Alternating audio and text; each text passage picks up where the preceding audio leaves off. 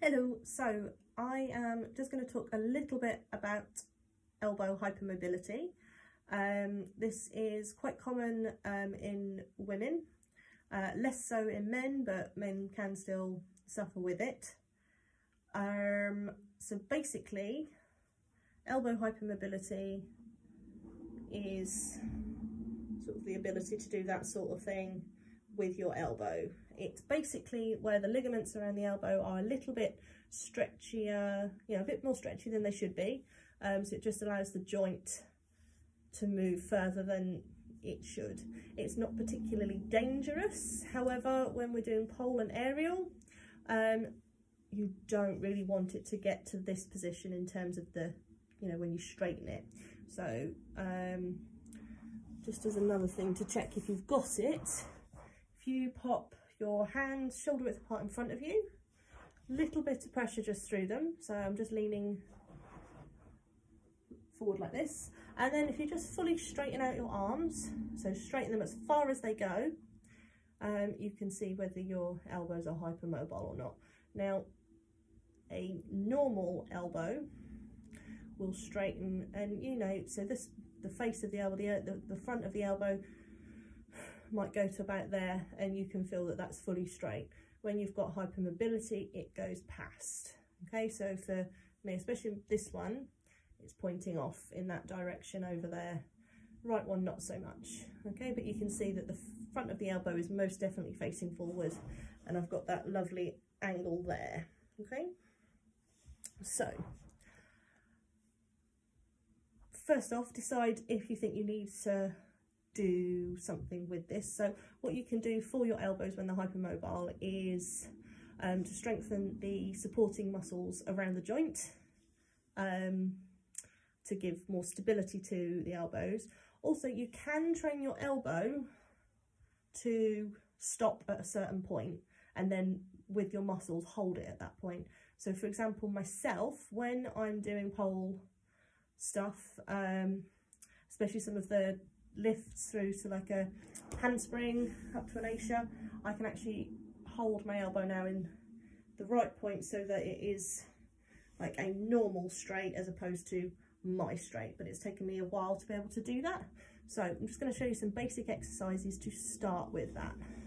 So start sort of, it's building up the proprioception. So those are your joint receptors, receptors that will tell the, or let the joint know where it is in space and how it's being held. So it's effectively a little bit of training of, of those as well. So you're then basically telling your elbow where you want it to be rather than it just going, oh, but I go to here, okay?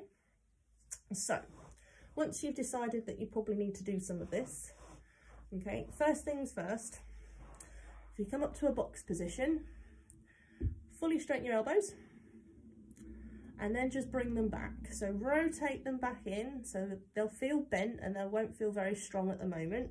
But that front bit of the elbow, I want it to face its partner. Okay, so they're now facing each other. You can see at that point that my arms are straight. Okay, they're not over straight. Okay, so we're here. And all we're going to do to start is hold that. Okay, so you probably have to really think about it to start with.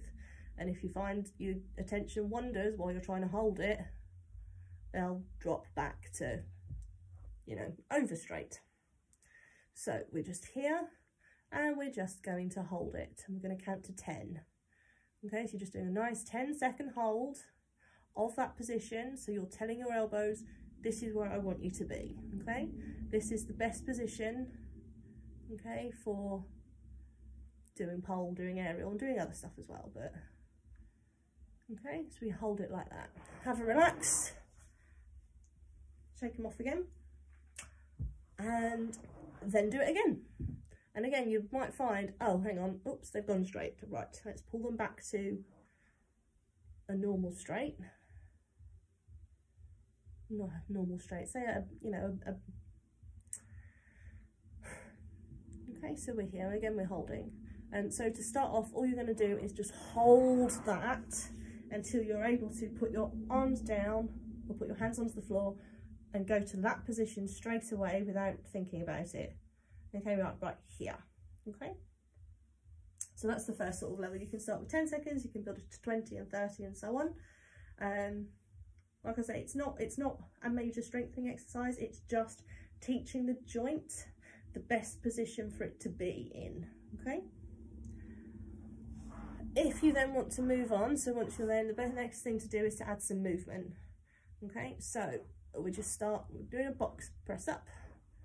So we're here, and then you're just going to put a little bend through and come back up. Little bend, come back up. And again, what you want to happen is that you come back to this point and you're not going bend straight. Oh dear, no.